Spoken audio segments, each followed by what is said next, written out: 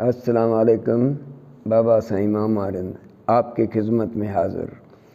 बाबा साईं, दोस्तों ने मुझे बताया है, मेरे तितर जो ये हम लोगों को मेले हो गए। भाई, मैं जो कपड़े नहीं धुलाऊँगा, मैं कपड़े नहीं धुलाऊँगा तो मैं मेला ही हो जाऊँगा, नहीं नहाऊँगा तो मेला ही हो जाऊँगा। बेटा, उसी का तितर का नहाना होता है मिट्टी। तितर का कंगी होता है मिट्टी।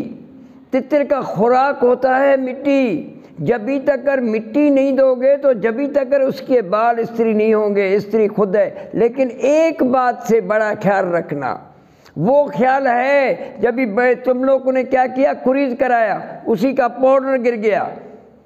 उसी की फरमाश आ रही है मेरे तितर के परों पे, पाउडर लग गया। अरे भाई, पाउडर तो उसके लिए तो पहले आया था ना, जब परों से। वो तो तले में लगा हुआ था, उसकी तले की सफ़ाई नहीं की। चित्र ने सफ़ेद वीट उतारा, उसी की सफ़ाई नहीं की।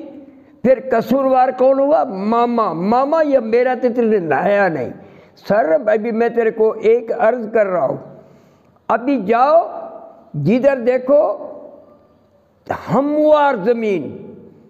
मीठी ज़मीन होनी चाहिए। उधर जाओ खेतों में, जिसी को 10-12 दिन पहले पानी मिला हुआ होए।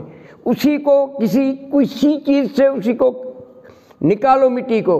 उसी को किसी कपड़े में लेके आओ। उसी को हाथ तीन मर, चार मरतबा लगाओ और उसी को छाननी करो। छाननी करके उसी को आप टाइम देखना चाहिए चाहिए। जब भी धूप गर्म हो गया, ये सफ़ाई सब कुछ दिया, वीट साफ़ करो और ये पाउडर साफ़ करो और मिट्टी के अंदर से पुरानी मिट्टी मत देना।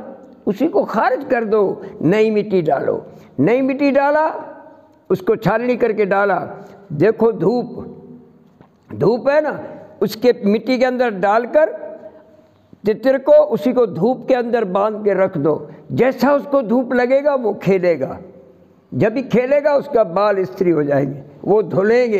इसका भाई नाना ये है, जो मैं आपको बोलूँ तो दस रुपए का साबुन लेके मारो तो उसके तो पल खत्म पर ख़त्म हो जाएँगे। भाई, इसी का नाना मिट्टी। कंगी मिट्टी, स्त्री मिट्टी भाई। इसको मिट्टी जब भी देखो हफ़्ते में तीन बार दिया करो। लेकिन क्या है जो उसी टाइम का थोड़ा सा गर्मी होना चाहिए। ऐसा नहीं है, वो जो बर्फ़ जमता हो तुमने मिट्टी में घुसा देना, वो तितर तुम्हारी सही नहीं रहेगा बाबा। अस्सलाम वालेकुम, मामा रिंद आपका खादिम, लेकिन टल्ली पे भी हाथ मारना।